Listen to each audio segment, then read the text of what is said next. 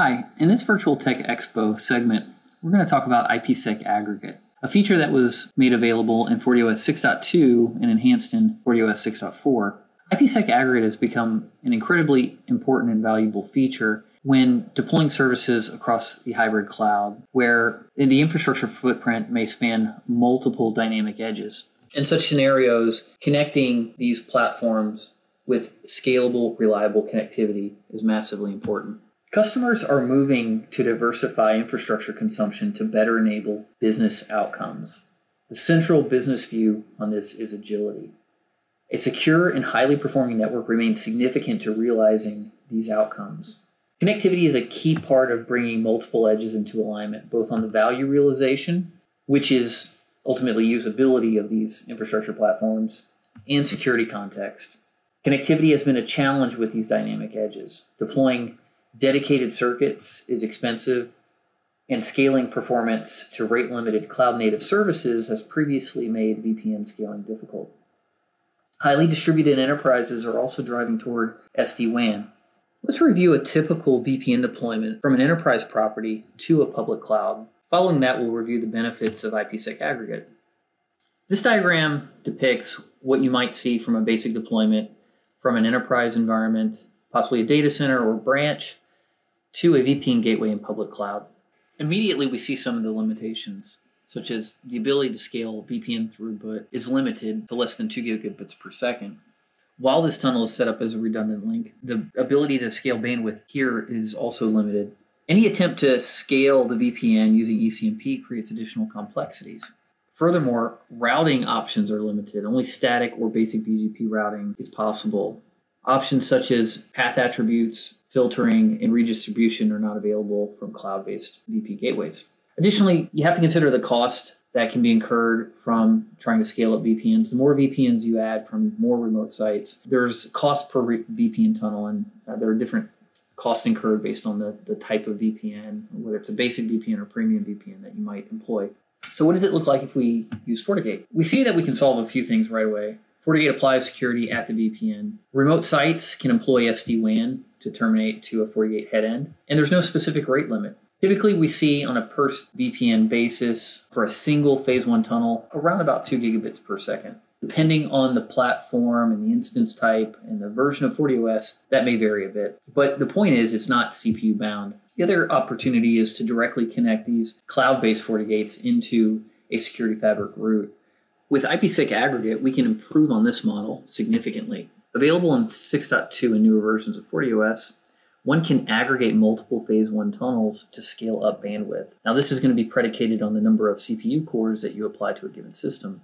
Because these IPsec phase one tunnels must be distributed over multiple CPU cores. It gives us the opportunity to scale up to the size of the instance we may be running our FortiGate on and to deliver maximum value and cost optimize our deployment of FortiGate. Deploying IPsec is very simple. Adding tunnels and then adding those tunnels to a member interface can be done very quickly in the CLI or the user interface. The implementation is very simple relative to other technologies such as ECMP, EVPN, or VXLAN. Consider that each end of the IPsec aggregate tunnel only has to route a single interface or peer to a single uh, IP address. So BGP routing becomes much easier to manage. High bandwidth applications can be supported. Customers may have dedicated circuits to a public cloud environment.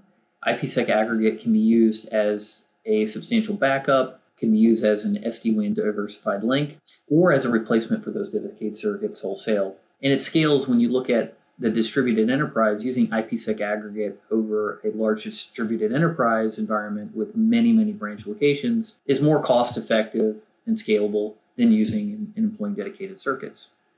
We can see the results of IPsec aggregate by looking at the FortiOS CLI outputs of diag sys mpstat output, which shows software queues are distributed evenly over all of our CPUs, in this case 16, and a similar example using 8 CPU cores showing diag VPN IPsec CPU, spreading the encryption and decryption over multiple CPU cores here. From here, we can see what this configuration looks like in the FortiOS GUI.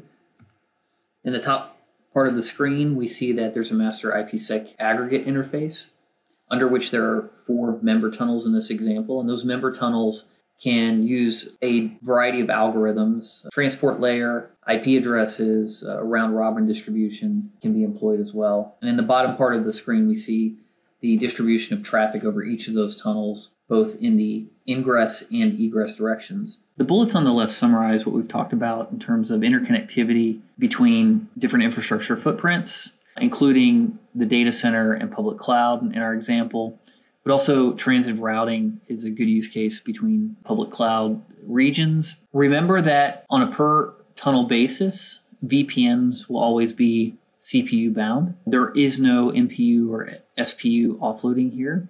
And so IPsec aggregate gives us the ability to scale beyond the single CPU core.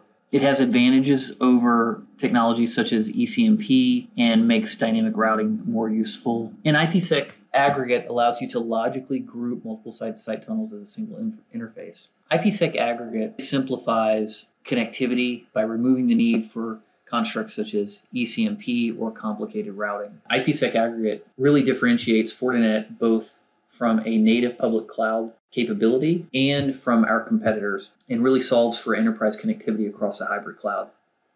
For the next part of this Virtual Tech Expo, let's look at a demo of IPsec aggregate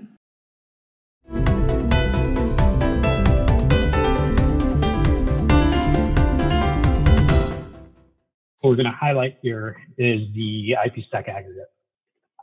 The whole point in IPsec aggregate, right, is really to help increase capacity of your IPsec performance from one site to another because it's site to site. And what we want to do though is avoid complexity and problems. So ECMP routing, especially when you start dealing with dynamic routing and things like that, it gets very tedious, right? So with this, what we're doing is we still have IPsec tunnels. You're still defining phase one, phase two, all of the normal stuff. You're just telling the FortiGate to treat that as a member of a logical interface. So we have one tunnel here. We have another tunnel here going to a different remote gateway and so on, right? And if we actually look at this, we're using per packet load balancing right now, which is great to spread out load, but it's of course a more uh, performance hit. So uh, when you start really scaling your bandwidth to five or 10 or 15 gigs, you want to move over to the L3 option, right? So fairly straightforward on that. And when you look at the actual routes, for example, here, I am doing BGP peering, but I only have one peer that I have to deal with, right? My gateway IP is just one next hop because that's all I'm dealing with. Logically, it's one interface, right? So it's simplified. Instead of me having four BGP peers now, I just have this one to troubleshoot and make sure it's good to go, right? And then so on the policy here, I let it super easy, right? Just like any other logical interface. So let's generate a little bit of traffic so that you guys can see the actual hashing of that traffic over here. So it's already kind of very even from previous tests, but I generate some more traffic here, then we're going to see that continue to be the case. And per packet is great, uh, but once you start getting a four or five gigs, you want to move to L3 load balancing. And even with that, which we're going to showcase in a little bit, you can get very even usage, right? So if I refresh, now we're seeing the ticker go up slowly but surely. There we go. So traffic hashing is, is very even on this setup. So to show the capabilities of, you know, really scaling a single site to site tunnel, let me actually pull up some other uh, resources here in, in, another lab that we have still deployed in AWS. Uh, so what we have here is FortiTester, which is our traffic generator. And what we're going to have is it generates uh, HTTP workload. Basically, one single TCP connection has a single HTTP transaction, which is a GET of a 44 kilobyte file that then is downloaded. So it's, you know, typical web server connections per second test, right? And what we have here is our FortiGate. And what we're doing in this case is we are doing, well, actually, let me show you here. So we have a 36 core VM, and then we have 32 unique tunnels that are all tied to one aggregate interface, and it's doing L3 load balancing, right? So what we're going to do here is clear our policy counter. We just make that a little bigger. And then we're good to go. So let's go to the dashboard and let's kick this guy off. So this, it takes a little bit to start, but at the end of the day, uh, FortiTester is a great tool if you guys are looking to actually uh, performance test, you know, your own setup directly in AWS. So we see here our aggregate bandwidth is right around 16 gigs, 40,000 connections per second. So this is a pretty decent workload, right?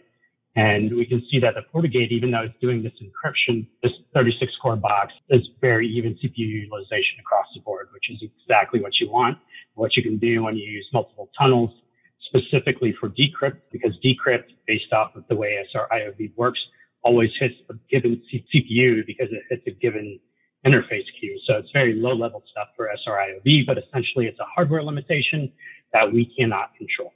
So However, with IPsec aggregate, you can work around that to get, you know, 15 gigs worth of even more of IPsec, right?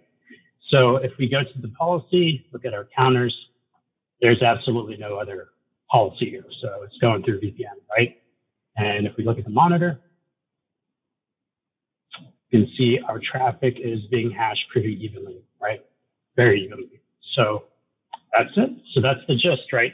IPsec aggregate isn't a replacement for SD-WAN. What IPsec aggregate specifically is for is for having a large scale site to site a connection and to be able to increase your capacity for IPsec while keeping your policy and your routing simple. So you can definitely leverage SD-WAN and you could even stack SD-WAN on top of IPsec aggregate, but really for this use case, we're just trying to show raw performance that you can get out of the IPsec interface on a VM, which doesn't have access to ASICs or anything like that.